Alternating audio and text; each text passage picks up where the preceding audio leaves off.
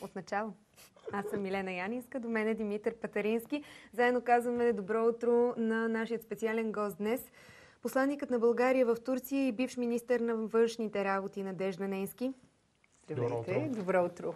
Благодарим ви, че сте наш гост. Цял ден анонсираме вашето присъствие. Хората изключително много се а, вълнуват в момента, може би най-много всъщност, от кризата в а, Европа и страната ни, свързана с беженците, емигрантите, каналджиите, които се оказаха изключително голям проблем.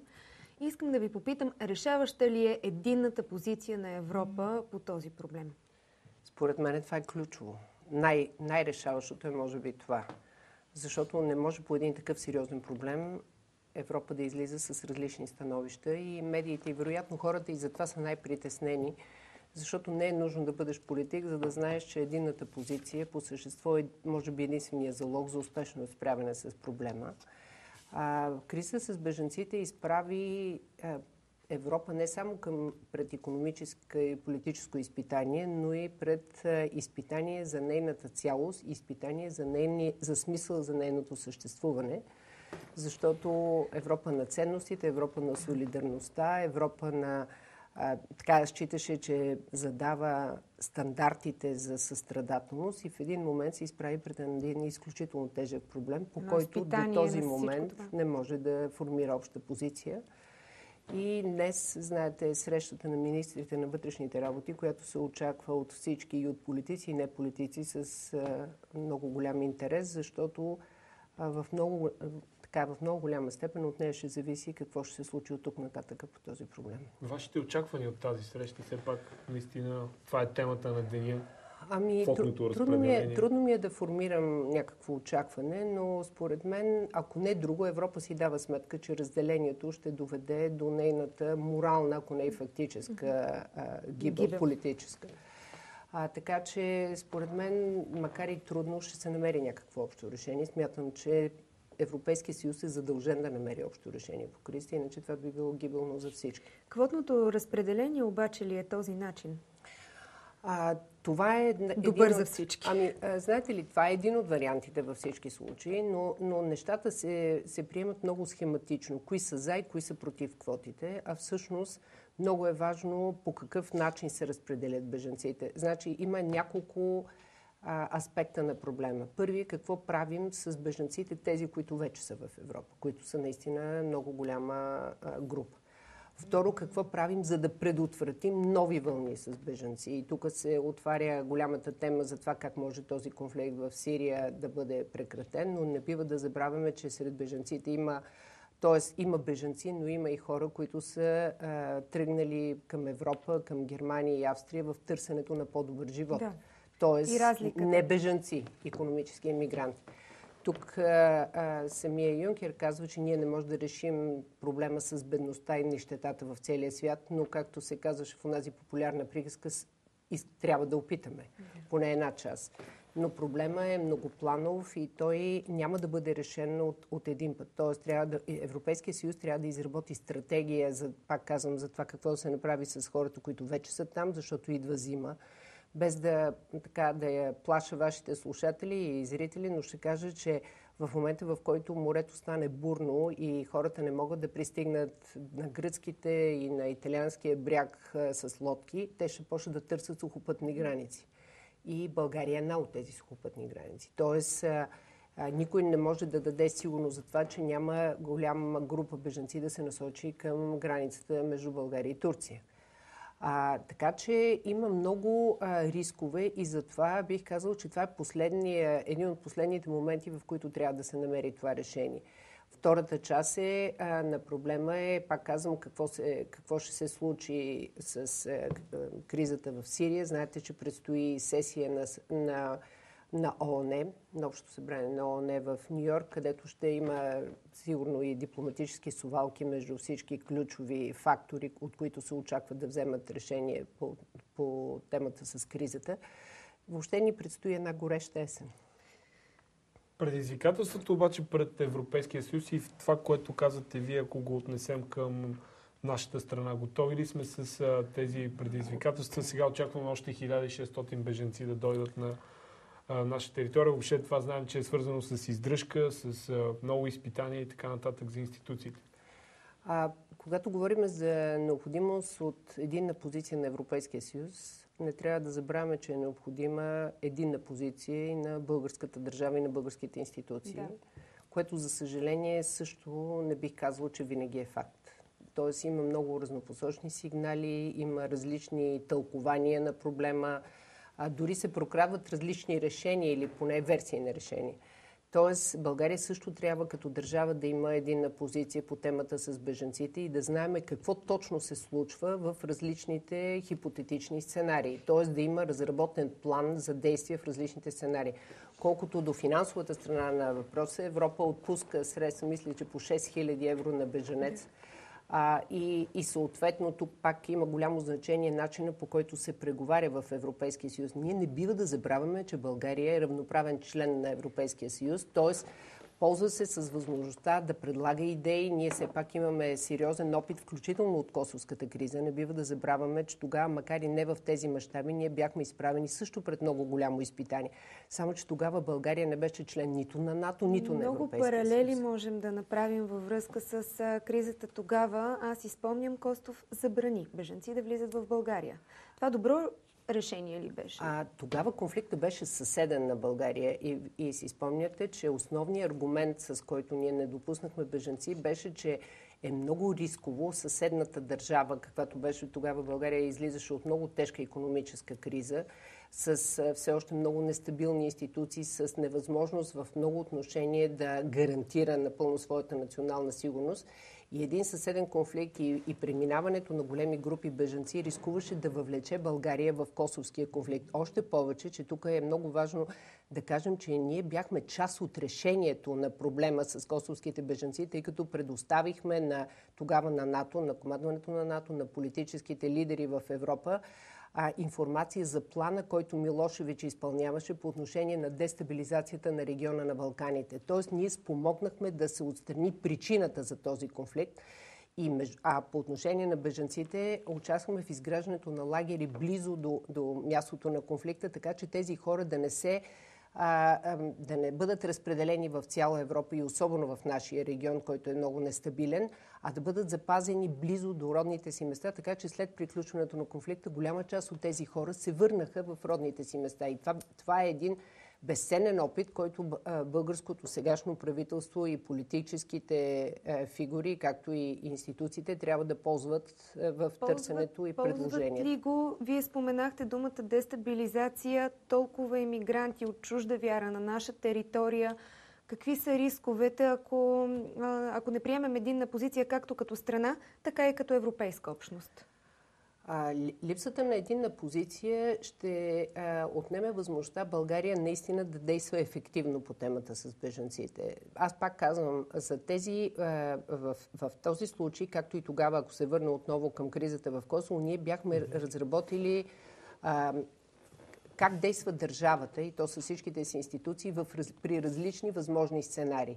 Тоест, това, което ние, то за шега няма никакво място, но тук ще се пошегувам, както винаги казваме, че снега при зимата ни заварване подготвени. Да. да не се случи така, че а, да има такава вероятност да дойдат повече бежанци и ние да не знаем как да реагираме. Аз много се надявам, че институциите в България следват някакъв план и тук политическото лидерство е ключово важно, защото в крайна сметка институциите действат след като има ясна политическа воля и кораж да се вземат често пъти и непопулярни решения. Понеже казахте, че политическото лидерство също е изпитание, когато става въпрос за нелегални мигранти. Ще ми се да поговорим и за това, което вчера каза премиера, че след економическа криза, вие също го обвързахте това, сега ни се налага именно това свързано с нелегалните мигранти, които най-вероятно ще преминат през България. Едно предизвикателство и разбира се толерантност. Такъв беше призива на премиера, но какво става с нелегалните иммигранти, когато всъщност те напуснат страната, в която са разпределени? Има ли опция те да се върнат пак там, ако избягат? Нека да боравиме много точно с термините. Значи има бежанци, които бягат от конфликт. Има обаче а, емигранти економически на практика, които част от които се регистрират и които България през своите пунктове и през своите изградените места за това регистрират. А има и нелегални емигранти, които всъщност са, може би, най-големия проблем, защото а, всяка държава, в това число и България, допускането на нелегални иммигранти носи редица рискове. И тези нелегални иммигранти, не случайно хората се притесняват, че сред тях може да има всякакви, включително инфилтрирани терористи и хора, които имат съвсем различни от обявените намерения. А борбата с нелегалните иммигранти и с трафикантите на хора, защото това е също много сериозен проблем, е може би най-сериозният проблем, свързан с нашата национална сигурност защото солидарността, когато ние говорим за солидарност, ние имаме предвид легалните. Ние нямаме предвид нелегалните. По отношение, когато а, ние търсим помощ от Европейския съюз, когато се обсъжда да има или да няма квоти и по какъв начин да се развие стратегията, това винаги засяга легалните. По отношение на нелегалните, а, там а, силата на закона трябва да бъде максимална наистина защото това вече е много сериозно изпитание, пак повтарям, за националната ни сигурност. И тук, включително и регионалната политика, вие знаете, че между България, Гърция и Турция беше неодавно подписано един, е, един документ за сътрудничество в сферата на граничния контрол и митническата дейност. Много е важно той да бъде ратифициран от парламентите на Гърция и Турция, защото при нас това не се изисква, но той трябва да, да влезе в сила максимално бързо да почне да се прилага, защото координираната координирания контрол на границите до голяма степен ще подобри и, и ефективността на битката с нелегалната миграция. Вие знаете, че мисля, че през уикенда излезе информация, че при Одрин е спряна голяма група, мисля, че 700 души, е, е, които са се опитвали да преминат границата. И такива случаи, вероятно, ще има и за в бъдеще. Тоест, трябва да се да се направи много ясна стратегия за това как да се охраняват българските граници. И до този момент може да се каже, че ние се справяме с, с проблема, но пак не бива да забравяме, че дай Боже така да останат нещата, но може да се увеличи натиска върху границите и тогава ефективността ще бъде изправена пред изпитание. Ние браним границите си, от друга страна обаче южната ни съседка Турция отваря вратите си към нас и ги пропуска. Ами, последните информации, които, които дойдоха, бяха за залавяне на такива групи хора. Така че ние не можем а, да, да коментираме а, нещо повече от необходимостта от това да има сътрудничество в сферата с нелегалната а, иммиграция. И между другото, аз мятам, че всички страни имат интерес да, да възпират нелегалната миграция, защото тя е пак казвам, тя съдържа заряда на риска за, за сигурността и няма държава, която да иска да допусне терористи или хора с, пак казвам, с намерения различни от обявените на своя територия. Понеже заговорихме за национална сигурност, за изпитанията на институциите, как ще коментирате случая и по-скоро инцидента от вчера в центъра на София? Разбрахме, че става въпрос една от хипотезите за каналджийство. Най-вероятно за това е възникнал и този инцидент, при който сирийски гражданин беше наръган в центъра на София с нож. до женския пазар. Виждаме и кадри от района в момента. За съжаление, подобни, подобни случки само доказват какъв огромен проблем е каналджийството защото пак трябва да се прави разлика всъщност между трафика на хора и между каналджийството, защото трафика на хора по същество означава превозване или пренасене на хора от една към друга територия с цел те да бъдат използвани или продавани или по някакъв начин а, да бъде злоупотребявана с тяхната воля. Докато каналджийството, а, тук вече има доброволно участие на двете страни, хора, които плащат, за да бъдат превозвани през границите. Това е, може би, един от най-големите в момента рискове изобщо за цяла Европа но не бива да омалважаваме и факта, че голяма част от каналджиите, които бяха заловени, са български граждани, в това число и прословутата история с автобуса, с микробуса Гробница, в който бяха открити толкова много задушени хора. Тоест, тук службите за сигурност и МВР трябва да бъдат изключително ефективни и просто непрекъснато да бъдат в връзка, както аз се надявам, че са с службите, партньорските служби от останалите държави, в това число и по линия на НАТО, и по линия на Европейския съюз. Имам предвид и с Турция, и с държавите членки на Европейския съюз.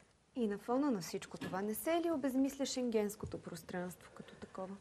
Не, аз не мисля, че се обезмисля шенгенското пространство, въпреки, че може би основателно при, при разноговоренето, при усещането, което се създава за, така, за как, обща европейска несигурност, дори на моменти паника в някои държави, се поставя под въпрос шенгенското пространство. Но в крайна сметка, аз затова казвам, че Европа е поставена на голямо, на голямо изпитание, защото всички онези неща, заради които България стана член на Европейския съюз, в момента са поставени на изпитание. Смятам, че е въпрос на, а, така, на, на вярност, на, дори на самите нас, означава да защитим смисъла на съществуването на свободното движение на хора, именно чрез ефективните си действия, чрез това да убедим хората, които са ни гласували доверие, имам предвид избирателите, за това, че е имало смисъл от жертвите и от пътя, който сме извървяли. Мислите ли, че трябваше ген да бъде обвързан с беженците? Такова споразумение поискаха от нашата съседка Румъния. А, пряка връзка няма между двете. Но разбира се, в, е, и тук веднага правя отново паралела с Косово. Едно време се казваше, те спряха а, те, те бяха ефективни в е, е, косовския конфликт. Имам предвид българите или правителството беше ефективно в косовския конфликт, защото искаха да станат член, членове на НАТО, т.е. са обвързали членството е, в НАТО с решенията в полза на коалицията в косовския конфликт.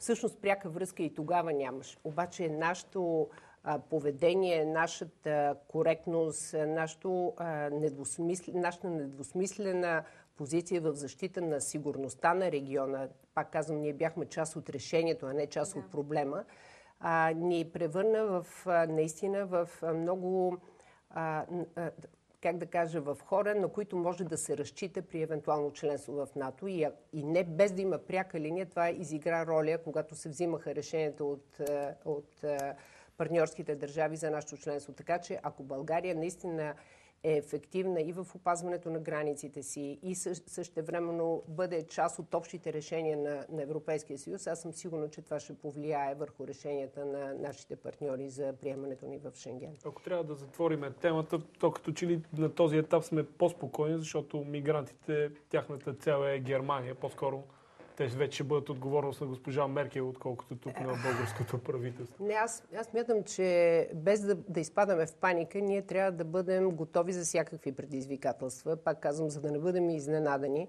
Дай Боже те да не, да не дойдат, но идеята, че Германия ще приеме бежанците и ние да сме спокойни тук и просто да, така, да ни да обхване... Да си ги оставяме да минават. Да си ги оставим, да, да не говорим, че дори самото минаване, пак се връщам на темата с нелегалната емиграция, е, е риск само по себе си. Особено вчера с инцидента, със сигурност влязохме и в световния обмен на новините, защото наистина това е прецедент, който се случва тук и става въпрос за каналджиство. Доста я засегнахме тази тема, да минаме към а, другите, които наистина са свързани отново с а, Репутацията вас. ни и сигналите, които изпращаме към Европейският съюз също така. С темата за корупцията, един антикорупционен закон на вице-премьера Меглена Кунева, който не беше прият. Какво казахме на Европа за това във връзка с волята си да се борим с корупцията? За съжаление, сигналите, които дойдоха а, от България, т.е. отидаха от България към Европа, а, бяха поредно доста противоречиви. А, както се казва, ние искаме да се бориме с корупцията, но не ни стига волята и убедителността, за да го превърнем това в ефективен акт. Аз съм изненадана, че един такъв закон а, не е бил достатъчно добре проговорен, за да се осигури мнозинство. Обикновенно вкарването на такъв важен закон, който се очаква да има съответно по него и много недоволни, разбираемо, така да го кажем по-дипломатично, за да бъде вкаран в зала, първо трябва да осигури необходимото мнозинство. И за мен беше изненада това, че такова мнозинство не е било осигурено. Въпреки сигналите за това, че е имало вербално подкрепа, пък тя след това се отеглила. Не знам точно каква е била кухнята на обсъждането на, на закона, но във всички случаи това не е добър знак за това, че нямаме воля да приемеме корупционен закон а, всички от тези съображения, които а, така, опонентите на закона изтъкнаха публично, можеха да бъдат казани, ако до тях е имало, ако с тях е имало някакви разговори по време на разговорите, а не постфактум да се превърнат в мотив този закон да не бъдат прият. Да този бъдат закон прият. обаче беше с залог на, на реформа, така каквато е за социалния министр, за здравния министр и още повече, че се чуе една теза, която така в пространството някак си беше пропусната, че ние имаме ефективно законодателство, свързано с корупцията.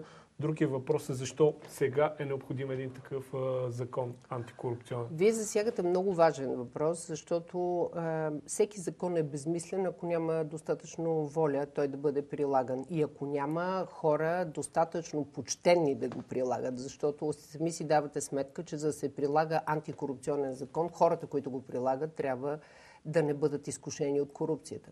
Така че става въпрос за воля не само за приемането, но, но още по-голяма воля за прилагането. И може би това е най-голямото безпокойство на Европа. Дори не толкова в приемането на закона, колкото в волята на неговото прилагане.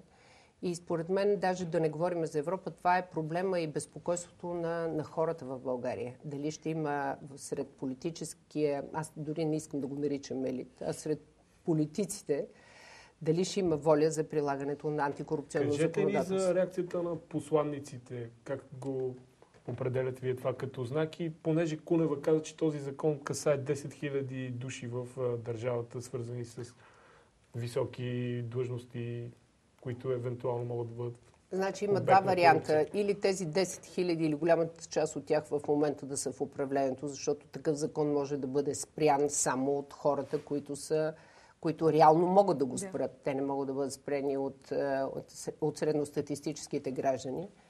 А, защото или а, наистина, а, пак казвам, този закон а, очевидно няма, политич... няма съгласие, няма консенсус в Народното събрание. А, и според мен трябва да стане много ясно а, какви са, кои са хората, които са против и какви са им мотивите, защото тези хора от други политически сили очевидно имат своите избиратели. За мен е интересно какво обясняват те на своите избиратели по отношение на, на този закон. А, но... Аз се сещам, извинявам се, че ви да. прекъсвам с думите на премиера Бойко Борисов, който каза 10 години сме били без антикорупционен закон, сега още 3 месеца. Имаше обещание от негова страна, че след 3 месеца ще влезе.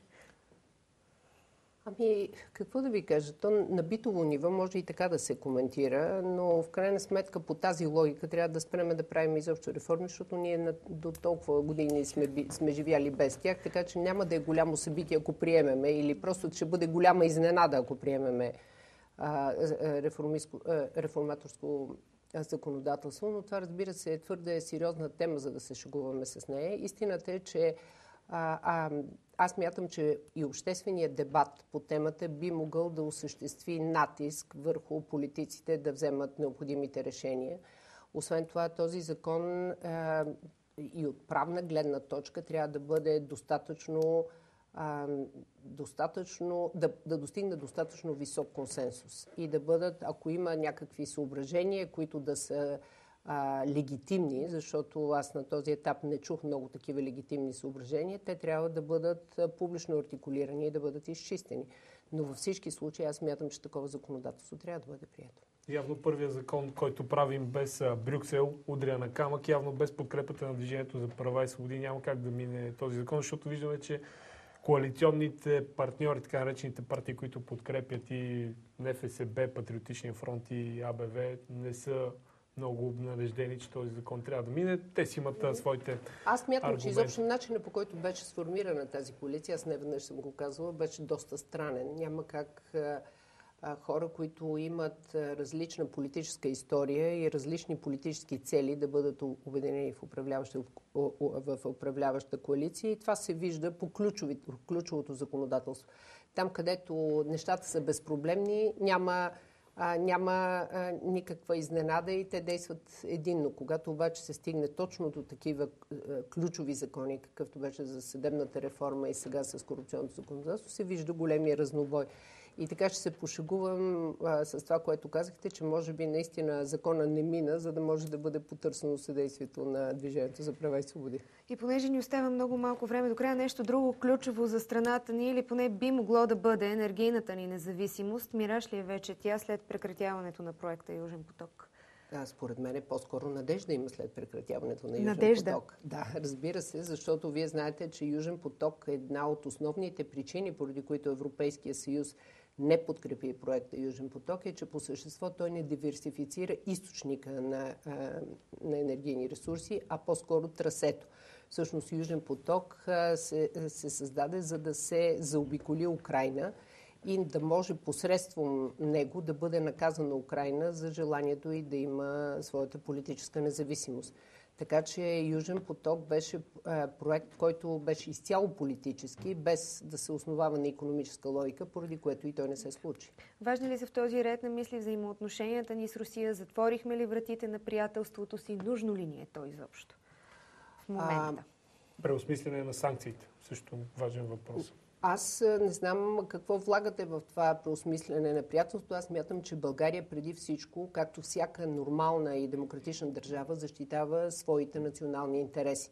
Българският национален интерес включва в това да взимаме наистина самостоятелни решения, не подложени на рекети на натиск, така както бяха, спомняте, преди години включително и по времето, в което аз бях външен министр, Русия използва енергетиката и доставките на енергийни ресурси като инструмент за прилагане на своята имперска политика. Това е нещо, което повече не може по никакъв начин да бъде толерирано, така че България като част от общата европейска енергийна политика смятам, ще има много повече гаранции за своята национална сигурност и затова и България е, като част на Европейския съюз следва именно такава обща политика. Понеже Яна Мойсеева вече е в студиото, аз имам една любима знаменита ваша фраза, която е да нахраним журналистите.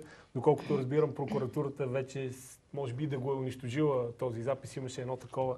Нещо в контекста на медиите, да нахраним журналистите, може би е едно доста актуално послание предвид медийната среда в България към този момент. Ако лично мене ме питате, въпросът е свързан по-скоро с това, че може да купиш марката, но не може да купиш съдържанието и волята на журналисти, които работят в една медията. Заставате ли за тези думи? Как ги гледате в контекста на днешната медийна реалност? Аз в контекста на вашата шега ще отговоря същото.